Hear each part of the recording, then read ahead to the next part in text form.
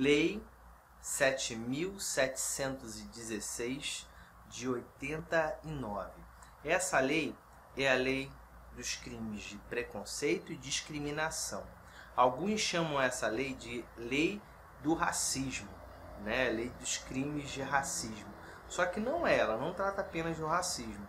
Ela trata de outras espécies de preconceito e discriminação também. É importante dizer o seguinte, que nessa lei, dois pontos que seriam fundamentais e, e são importantes, não fundamentais, mas são importantes, e não estão abrangidos por essa lei, que é a homofobia e a condição econômica. Não estão abrangidos nessa lei. Tá? O que, que está abrangido? Quais são os crimes que estão abrangidos? Toda discriminação e preconceito contra raça, cor, etnia, religião e procedência nacional. Essas são as cinco né, características é, que podem ocorrer o crime de discriminação e preconceito. Raça, a gente sabe que cientificamente só existe uma, é a raça humana, mas aquela culturalmente ela seria o sinônimo de etnia. É, por exemplo, ah, um africano, um, é, um asiático, ou então um japonês, né? Tem questões aí relacionadas ao japonês. A religião, a gente conhece todas as religiões propagadas pelo nosso país.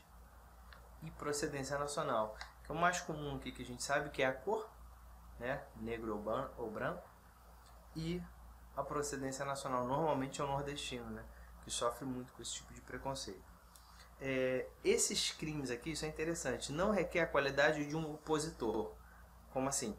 É, um branco só comete o crime de preconceito ou discriminação se for contra um negro.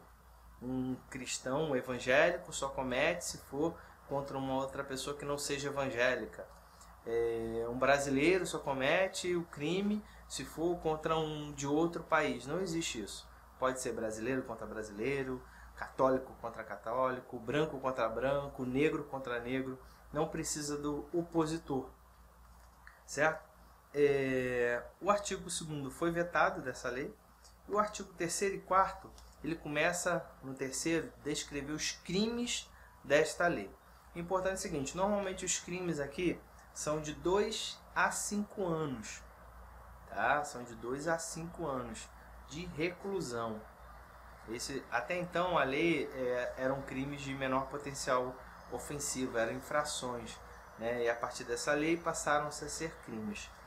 É, se a gente for verificar, a partir do, do, olha o versículo, olha, do artigo 3 ele fala de obstar acesso a qualquer cargo público, né? inclusive privados no que diz respeito a promoções na empresa privada. Né? Às vezes as pessoas são impedidas de ter promoções nessas empresas. Deixar de conceder equipamento, né? construções é, obras, né? Realmente acontecia isso na década de 80. Negros ou nordestinos ficavam sem equipamentos. Impedia a sessão profissional e tratamento diferenciado, principalmente condições de salário. Ah, Giovanni, aplicaria aí a questão do, do salário do homem, que é maior do que a mulher? Não, não nessa lei. Aí existe uma lei buscando a igualdade de gênero, aí você vai para uma visão mais constitucional. Os anúncios de recrutamento também não podem é, ter esse tipo de, de qualificação. Ah, eu só aceito louros de olhos azuis ou negros fortes de 1,90m em diante. Não. não. Não tem esse tipo de discriminação. Mas vamos supor que tem um anúncio falando que só aceita homens ou aceita mulheres. Isso não se aplica a essa lei, porque não há aqui a questão do sexo. Não há essa discriminação ou preconceito recusar ou impedir acesso ao estabelecimento comercial. E se a gente for vendo a lei, a gente vai ver que logo no isso no artigo 5 depois ele vai falar a mesma coisa, impedir inscrição do aluno numa escola de ensino público ou privado. E aí no sétimo, do sétimo ao 14, eles colocam impedir ou recusar acesso à hospedagem, a lugares de atendimento, bares, restaurantes, clubes, salões de cabeleireiro, esse tipo de coisa. Entradas em edifícios públicos ou residenciais, ou seja, não entra aqui edifícios privados. Então, se você for tentar entrar num edifício privado e for impedido, isso não seria crime aqui para esta lei. Pode ser outro crime lá no Código Penal e tudo mais, mas não para esta lei. É, impedir acesso a transportes públicos e também às Forças Armadas. Há também aqui nessa lei. As penas seriam de 2 a 4 anos. O artigo 15, é, esse eu queria falar muito com vocês. Porque, lembra que eu falei, eu acho que eu cheguei a falar com vocês, que essa lei ele não especifica dois tipos de, de preconceito e discriminação, que é a homofobia e a classe, a situação econômica né, da vítima. E olha o que o artigo 15 falava: discriminar alguém por razões econômicas, sociais, políticas ou religiosas. Esse artigo foi vetado, ou seja, a lei, na sua essência, ela previa a discriminação pela pessoa ser pobre, por exemplo, ou pela pessoa ser do partido tal ou partido Y, partido X ou Y. Mas esse artigo foi vetado, dizendo que seria muito genérico né, e abrangeria muitas situações. É um país é, com a diferença social, econômica enorme e justamente as razões econômicas e sociais foram vetadas nessa lei. O artigo 16 ele fala sobre a perda do cargo e da função ou a suspensão do funcionamento do estabelecimento. Se você for condenado, pode perder o cargo ou a função e pode ter seu estabelecimento fechado por até três meses. Só que esses efeitos não são automáticos e devem ser fundamentados pelo juiz, ou seja, a dificuldade deles serem aplicados é infinitamente pequena. Então, o artigo 17 falava também foi vetado, o artigo 19 também foi vetado. E aí, logo lá no artigo 20, a gente vê uma quem pratica, induz ou instiga esse tipo de preconceito e discriminação pode ter uma, uma condenação né, de 1 um a 3 anos de multa. E aí, um, para finalizar, logo, até no artigo 20 mesmo, ele fala sobre a divulgação de nazismo, né, de material de nazismo, coisa e tal e a multa apenas seria de 2 a 5 anos. E também aqui ele fala, qualquer desses crimes podem ser, podem ser cometidos pela comunicação social, televisão normalmente, impressos, folhetos, revistas e pela internet. Lógico a internet entrou em 2010, numa alteração que foi feita na lei em 2010. Agora, o que eu queria falar com vocês sobre essa lei? A gente está vendo muita gente falando aí sobre preconceito, racismo. Teve uma situação aí de um uma filha adotada de um, de, uma, de um ator, né, de um casal e tal. E quais são as grandes dificuldades aqui? É, a fácil dissimulação, né? Ah, aquela questão do disse e não me disse. Ah, eu disse isso, eu não disse isso. Então isso é muito dissimulado. É, a falta de interesse da autoridade policial e do próprio Ministério Público. Esse tipo de ação ela é incondicionada, ou seja, quem, quem distribui, quem é o, é, é o a, a autoridade responsável para ajuizar essa ação, o titular dessa ação penal, é o Ministério Público. Ponto.